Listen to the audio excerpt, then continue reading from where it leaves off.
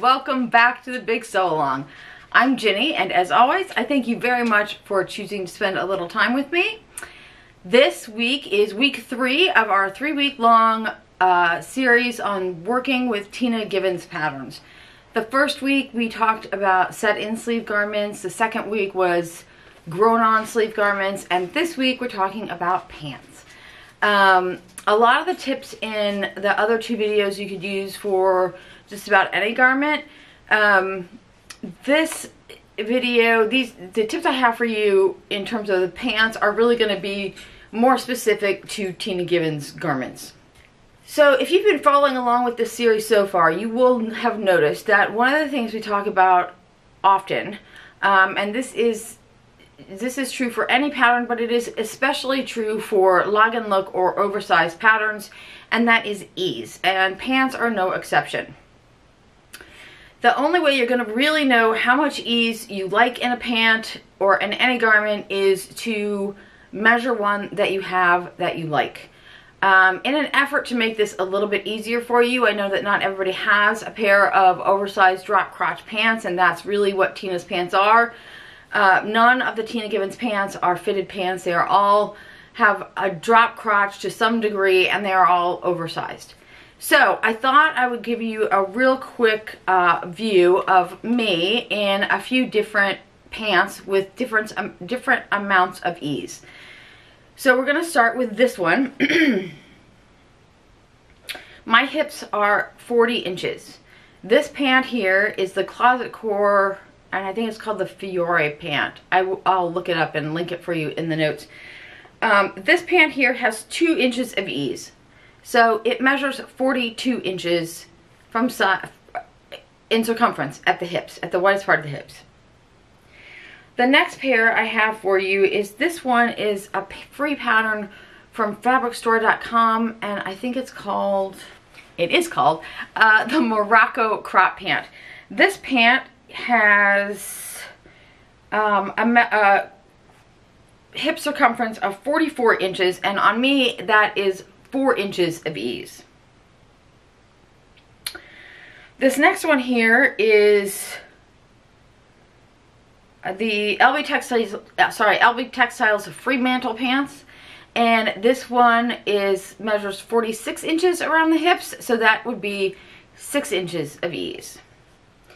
And then this last one here is a very old pair of plinkas. Um, so excuse the condition. They've been folded up in my closet for ages. Um, this measures 48 inches around the hips, and so that is 8 inches of ease on me.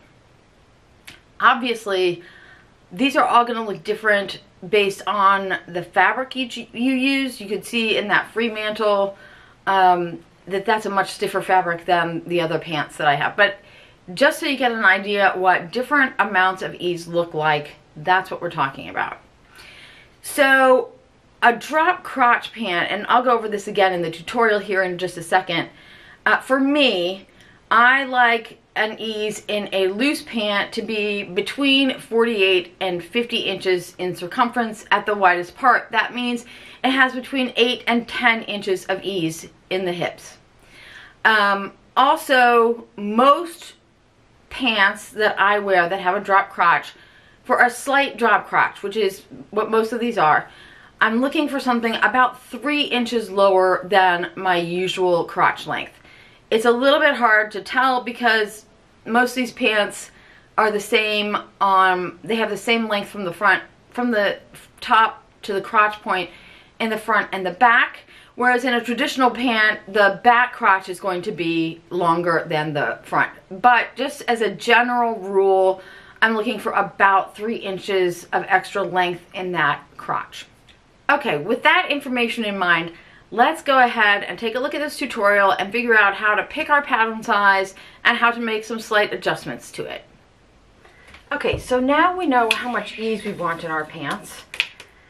I'm going to show you on this. This is the Jacqueline, uh, which is cut very similarly to the uh, Plinka and many other Tina Givens patterns.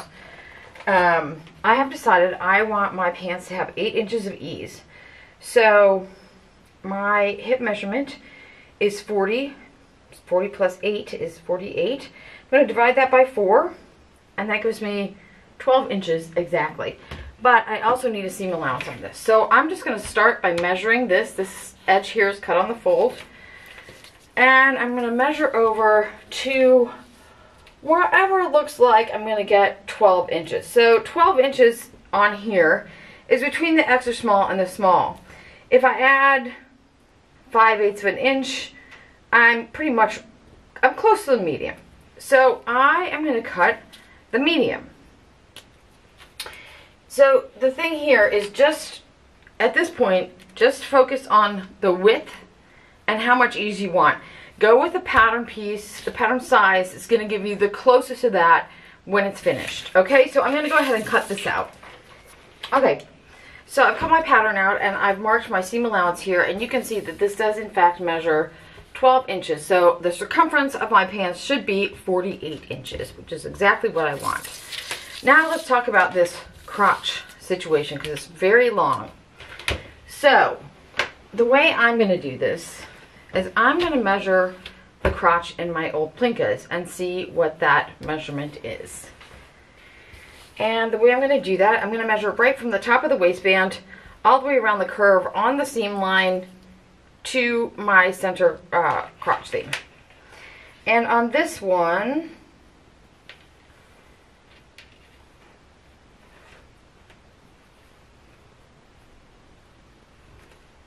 that comes out at right about 18 inches. So that's what I want this measurement to be at the seam allowance. I'm just going to write that down before I forget. I recognize that not everybody has a pair of plinkas to measure. So I have brought a pair of pants that actually fit me regularly.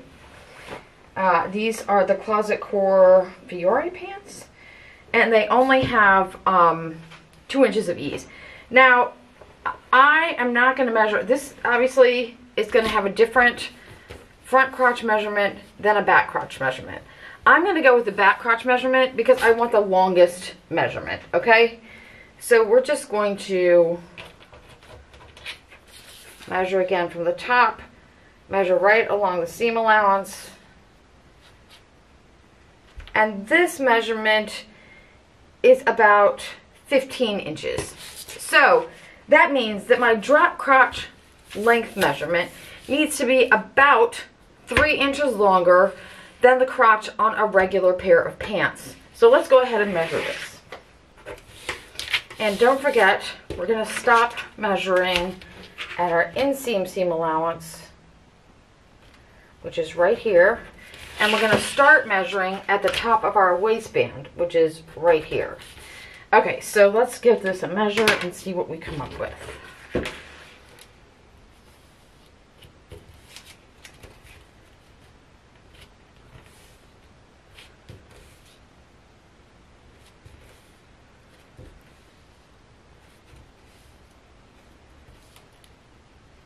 So this one measures 19 inches, which is about an inch longer than I want it to be.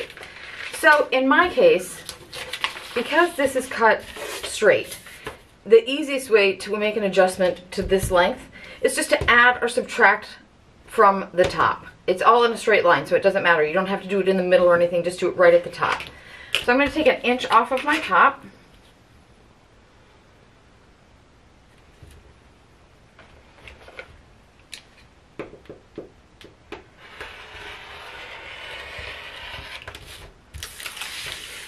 And now we're going to measure the total length of our pant.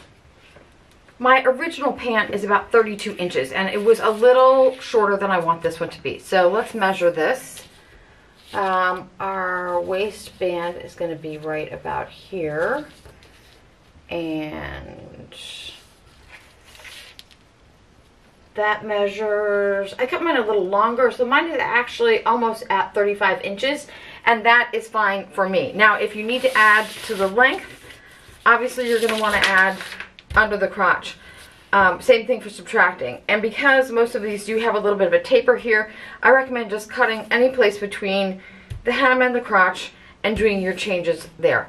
I'm gonna leave these alone for now. all the stuff you do at the bottom is just details like pleats or um, elastic or uh, darts, all kinds of stuff like that. But we're not going to deal with that today. We're just going to deal with the overall fit. So the other thing that a lot of people have problems with is if this is going to measure 48 inches, that means I'm going to have more than 8 inches of fabric gathered up around my waist. And that is a problem for a lot of people. So let's talk about how we can solve that. We have a very long crotch here, so we don't really have to worry about it getting too tight in the hips. What you can do, the easiest thing to do, is to knock off, say, let's get that kind of straight, an inch right here at the center front. And you would just taper that in, whoops, taper that out to your crotch line. However, because most of these pants have a fold over waistband, you want the waistband to be straight. So what I would do is literally just fold this over on that one inch line or wherever the top, of, fold it over at the top of your waistband, wherever you're going to put that. And I'm not doing it very accurately here, but you will want to measure that and make sure it's correct. And then you can measure an inch is right here. This part you're going to want to cut straight. And then you're going to want to curve this in. This is the wrong curvy ruler. This hip curve is much better for this because it's got a more gradual curve. So I'm going to measure from here, from the bottom, oops, sorry, from here, the bottom of my waistband. And I'm going to curve out from there until I get to my crotch. So it would look something like that, okay? And then by doing that, remember you've lost four inches because this comes off of both front pieces and both back pieces. Now, if that is not enough, it's also very easy to do the same thing over here on the side by making a dart. And you would just do this. Your dart is going to go straight for that whole point. And then you're just going to taper it out from the bottom of your waistband to the side until it looks like it curves in nicely so you don't have a point. Alternatively, you could do the same dart situation and do it in the middle of your pant. Uh, but I would just do it probably in the center back. You can do a pleat in the front if you want. I have done that before. This pair, in fact, I think has, they're very wrinkly because I've not worn these for a long time. These have um, a pleat right in the center front. It's a little box pleat. And that box pleat, it's about a half an inch. So I probably used a full inch in my dart there. All right, you guys. I hope that's helpful in terms of how to um, work with some of these pant patterns. Okay, so that is just about all I know about working with Tina Givens patterns.